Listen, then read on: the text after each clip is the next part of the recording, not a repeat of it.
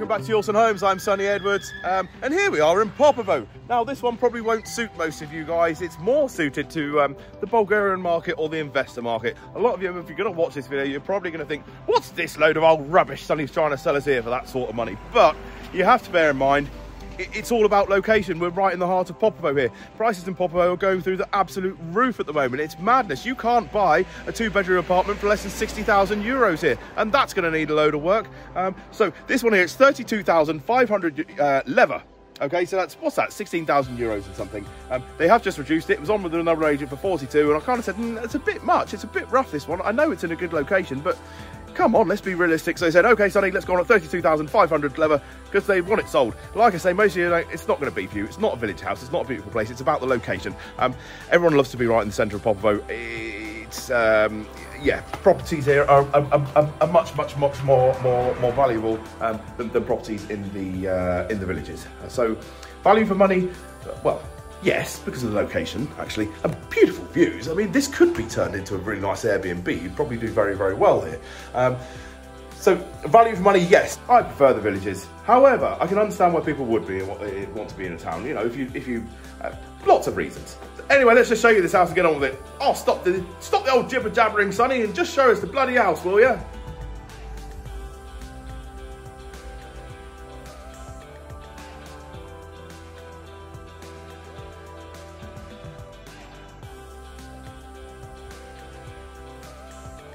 So yeah, nice views. We've established that. Good views out there. Um, let's show, take you through, show you this house. We've got lots of rooms, dop, dop, dop, dop on top of each other. Um, so this, this was the kitchen, wasn't it? Look, there's a sink, it must have been. Um, yeah, it's a bit rough. The whole place needs a bit of renovating. Yeah, of course it does. At this price in Popovo, that's what's to be expected. Um, and actually, I'm here because we've already had a couple of clients just come and look at it already, uh, Bulgarian family. So yes, the Bulgarians do like to be in the uh, in the town. Um, nice and convenient. You've got you know two minute walk and, and, you've got it all there. Oh look, nice views here as well. And also, it, it, don't ask me why.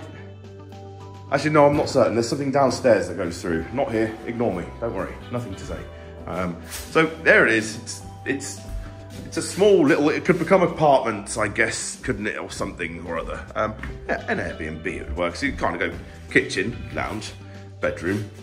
Oh, where would you, you'd need a bathroom as well, wouldn't you? Um, no, maybe you'd go kitchen, lounge, bath. I don't know. You'd make your own minds up, wouldn't you? This is a funny little room. It's kind of like a little office room. This could become your bathroom, couldn't it, I guess? Yeah, that would work or kitchen. You can do what you want with these houses. So, and then this is really weird down here. I don't know what on earth anyone would do. Actually, we've got a bathroom. Ignore me. Look, you've got one. It's just down here. It's a beauty. Uh, let me turn the torch on. It's not really a beauty. I'm a bit of a wind-up merchant sometimes. But it's a toilet. What's in there? Not a shower. Uh, somewhere to put your wood. Um, it's a bit creepy down here. Uh, some sort of room in there. Looks like that goes out onto the road. Uh, what the hell's going on here? Actually, let's have a look. That takes you out to...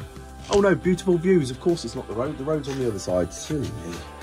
Uh, so, yeah, perfect for a family of dwarfs could live down here. Um, it's a bit short. It's a bit squat, small. So another funny little room here. Um, this really is like something out of a horror movie. Um, and this worried me. He says, um, he says there's another room through there. They've bricked it up. Why? I don't know. How many bodies are in there?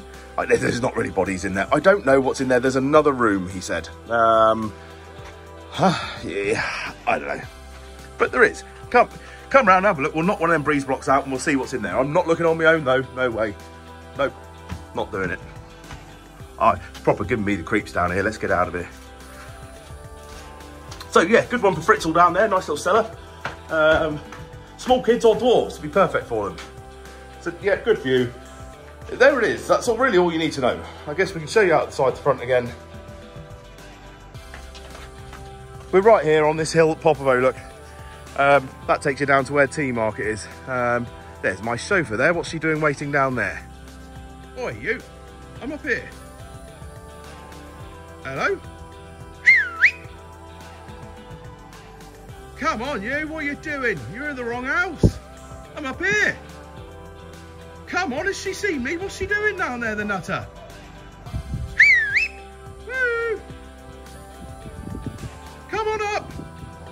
That's it. She's seen me now. Here she comes. There's my ride. Got my chauffeur on it today. Ah!